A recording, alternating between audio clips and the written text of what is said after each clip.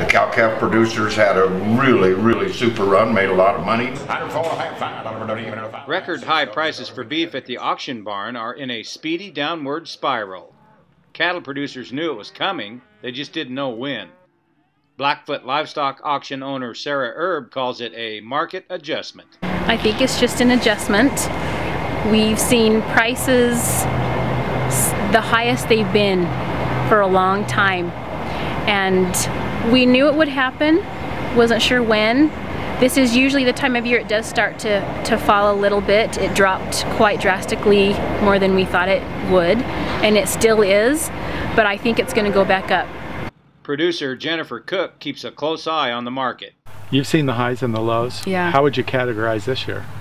Um, well, the prices are dropping this year. Uh, hopefully they don't drop too far. Below last year's level? Yeah, definitely below last year's.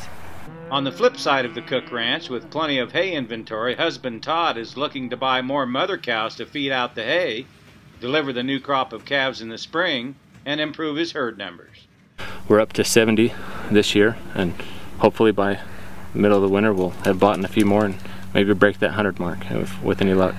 Buying or selling, auctioneer Lonnie Hatch sums it up best. These cattle that they bought last spring to go to grass with, they sure enough are not working on today's market. So I don't know just what's going to happen. I don't think anybody does. With the Idaho Farm Bureau, the voice of Idaho agriculture, I'm Steve Riddick.